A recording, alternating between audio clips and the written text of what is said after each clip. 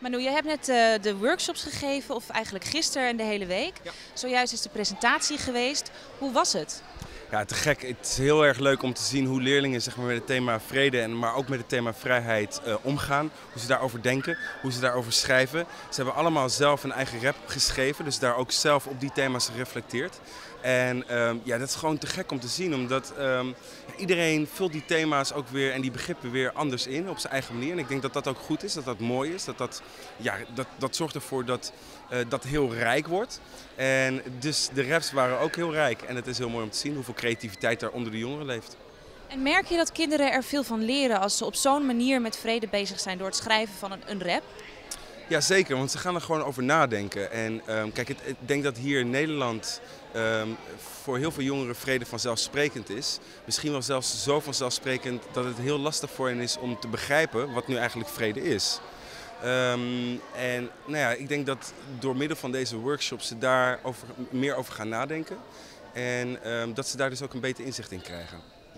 En is dat belangrijk dat ze daar een beter inzicht in krijgen hier in Nederland? Ja, dat, is altijd belangrijk. Het is altijd belangrijk om, om een beter inzicht in de vrede te krijgen. Omdat dat is denk ik wat we allemaal willen. Um, um, elke ziel die op deze planeet rondloopt, met uitzondering van een aantal individuen, die zal uh, op zoek zijn naar vrede. En, um, dus ik denk zelfs dat in een land als Nederland, waar inmiddels vrede dus enigszins vanzelfsprekend is, dat, dat jongeren daar steeds over blijven nadenken. Omdat er nog zoveel plekken op de wereld zijn waar er geen vrede is. Nou, jij weet er eigenlijk al heel veel van. Uh, daarom ben je hier ook voor de kinderen. Maar wat zou jij zelf nou laten voor vrede? Als jij zou kunnen zeggen, bijvoorbeeld aan de kinderen zeiden we een maand lang geen make-up. Dat gaat voor jou niet op. Ja. Maar wat zou jij daar zelf voor doen? Nou ja, ik denk, um, weet je, kijk, vrede is natuurlijk heel idealistisch ook. Um, en ergens misschien ook wel onhaalbaar in die zin we hebben te maken in deze wereld met een enorm grote wapenindustrie en een oorlogsindustrie. Um, die industrie is zelfs zo groot dat die bijna 12% van het wereldwijd bruto nationaal product in beslag neemt. Dat betekent dat 12% van al het geld dat er in de wereld in omloop is, in handen zit van die handel. De handel in wapens, van kernwapens, nucleaire wapens, oorlogsmachines, legers, noem het maar op. Al hetgeen wat eigenlijk geen vrede zal brengen. Um, ik denk dat het heel belangrijk is dat we als mensen, als jongeren, als ouderen, als collectief, als landen um, ons verzetten tegen die hele industrie, tegen die wapenindustrie en ervoor zorgen dat die wapenindustrie eigenlijk stopt te bestaan. Is natuurlijk heel lastig, omdat er heel veel belangen liggen ook in die industrie. Heel veel mensen hebben belangen daarbij om die industrie maar draaiende te houden. En dus eigenlijk ook belang bij oorlog, want daar verdienen ze gewoon heel veel geld aan.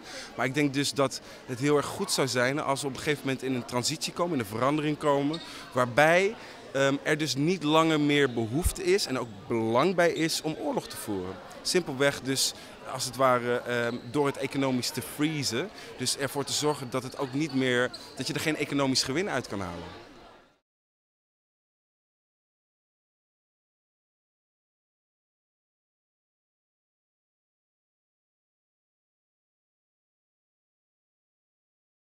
We zijn hier de hele week workshops geweest uh, voor de vrede. De kinderen zijn hard bezig geweest. Vandaag de eindpresentatie.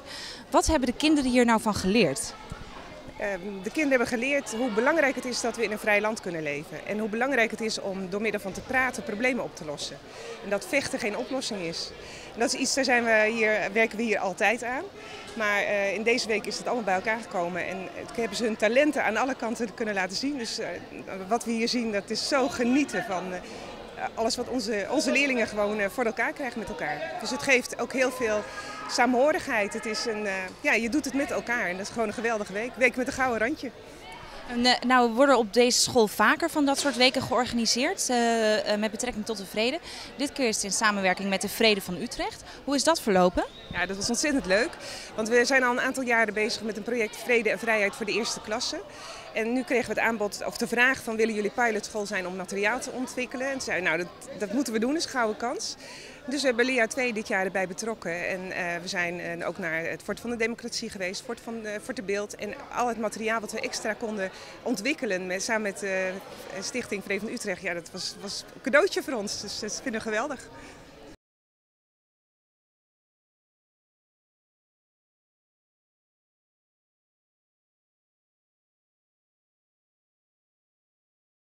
Ja, ik ben niet tevreden, ik ben gewoon gelukkig. Dit is gewoon uh, schitterend dat uh, als je zo een week gedraaid hebt met allerlei verschillende onderdelen, met leerlingen, zoveel gastdocenten in de school, allemaal bezig geweest samen. En het komt dan gistermiddag, eind van de middag, komt er een draaiboek uit.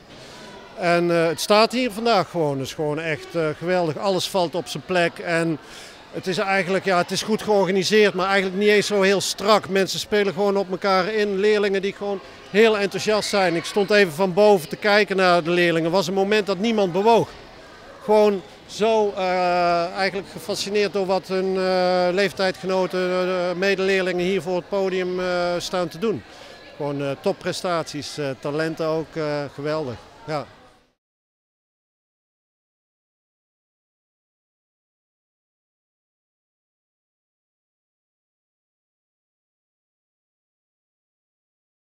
Hoe vonden de kinderen het? Ja, geweldig. Het is hartstikke leuk. Als je op middelbare school zit en je mag een week zo besteden, dan zul je af en toe wel eens erbij zitten van oh, weer trommelen. Maar uiteindelijk is het gewoon uh, dikke pret. En je hebt gezien, ik pak ze in minuut 1 bij de strot en ik laat ze aan het einde los. Ja, dat werkt hartstikke goed. Erg leuk. Erg leuk. En zij zijn op deze manier met uh, vrede bezig geweest. Uh, hoe gaat dat in zijn werk? Hoe, hoe ziet zo'n workshop eruit? Dat, je kan niet zeggen een workshop is zus of zo, want de groep geeft eigenlijk aan wat ik kan of wat ik wil en waar ik naartoe moet. Uh, het thema is natuurlijk heel makkelijk te verpakken. Als je uh, een Afrikaanse trommel krijgt, waarmee je eigenlijk al, ja, er is al bepaald wat je ermee kan doen. Je kan erop slaan en houdt het op, want zoals hij eruit ziet is die. Maar als je die gekke ton hebt gezien, dan heb je ineens veel meer vrijheid. Dus ik heb in de eerste minuut gezegd tegen iemand, pak maar stokken, ga maar helemaal uit je dak. Nou, dan komt 10 seconden en is het op. Dus vrijheid is heel fijn, maar een beetje kader is er ook wel erg prettig. Nou, daarin neem ik ze mee. Maar natuurlijk mogen ze uh, heel ver in gaan. Alleen ik, ik, moet het wel de hele tijd sturen. Nou ja, dat, je hebt gezien, dat, dat werkt hartstikke goed. En uh, het gaat natuurlijk over vrede. Hoe zit dat verwerkt hier in, in dat uh, getrommel en nou, gefluit en wat, je dus, wat wij dus terugzien hier bij de presentatie? Hoe is vrede daarin verwerkt? Nou, het is bijna andersom. Ik, als ik begin is het één grote chaos en is het eigenlijk oorlog, zeg maar. En naarmate mensen gaan afstemmen en gaan luisteren en begrijpen dat muziek een taal is, en iedereen uh, verstaat hem wel, maar niet iedereen spreekt die. Daar ben ik voor. Dus dan gaan we aan de gang en dan gaan we afstemmen. En als jij niet goed kijkt, dan kun je niet meedoen. Of als je niet goed luistert, werkt het niet. En op die manier stem ik dat af. En als je dat dan mooi gezegd vrede wil noemen, dan is dat vrede. En hoe gaan de kinderen uh, weg als ze klaar zijn met de presentatie? Nou, allereerst met een piep in de oren natuurlijk. Dat kan niet mis, ik ook. Um, dat weet je niet dat is het grappige. Het is wel zo, als je, nu, als je over een half jaar terug zou komen en je zou hier in de school lopen en je vraagt een leerling die bij de presentatie waren, wat heb je onthouden of wat is er van die week bij blijven hangen? Dan hoop ik, klinkt arroganter dan ik bedoel, maar ik weet bijna zeker dat dan trommelen ook boven komt. Ik probeer, ik probeer echt bij ze binnen te komen. En dat doe ik op een hele eenvoudige, simpele manier. Heel veel non-verbaal, met, nou ja, met een gezicht van mij, met het gekke fluitje. Um, en ik denk dat ze er uiteindelijk wel iets aan overhouden, want ik word ook vaak ingezet om een groep bijvoorbeeld in het bedrijfsleven, af te stemmen. Tien beelden. Dus je krijgt in 80 minuten tijd in dit geval, krijg je die kinderen toch één kant op. En dat moeten ze samen doen. En als ze dat niet doen, dan lukt het niet. En snappen ze dat wel, die truc, gaan ze ook anders weg. En niet meer als eenlingen, zijn het niet meer 30 kinderen, maar gaat er een groep weg.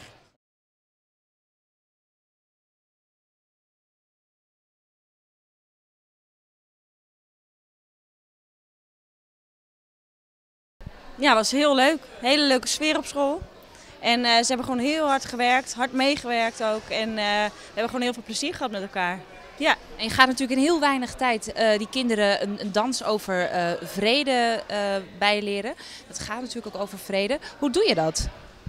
Um, het thema heb ik uitgewerkt doordat ehm, de dance battle is eigenlijk dat de twee machthebbers tegenover elkaar komen. Die vechten met elkaar. En die verdelen de macht en daaruit ontstaat er weer eenheid en dat zit in het refrein. En dan dansen we met en blok eigenlijk naar het publiek toe. Dus, uh, en dat heb ik ze ook zo uitgelegd. En als je dat dan uitlegt aan uh, de leerlingen, hoe reageren ze daarop? Um, ja, in het begin zeggen ze, dans, wat heeft dat met het onderwerp te maken? Zodra we echt bezig zijn met de dance battle en je ziet het, de interactie, de een gaat naar voren en de ander gaat naar achter, dan krijg je heel gauw, uh, oh, dat heeft het ermee te maken. En het nummer uh, heet ook Vrijheid van Marco Bussato en Lange Frans. Dus uh, ja, dan komt het er automatisch wel in terug. Ja. En als je nou terugkijkt op de presentatie die we net hebben gezien, En natuurlijk ook daarbij het dansen. Ben je dan tevreden? Ja, super. Ze hebben het heel goed gedaan. En uh, ook uh, goed uh, gedurfd om er te staan. En ja, heel veel enthousiasme en heel blij achteraf. Hele goede reacties ook. Dus ja, ik ben heel enthousiast. Ja.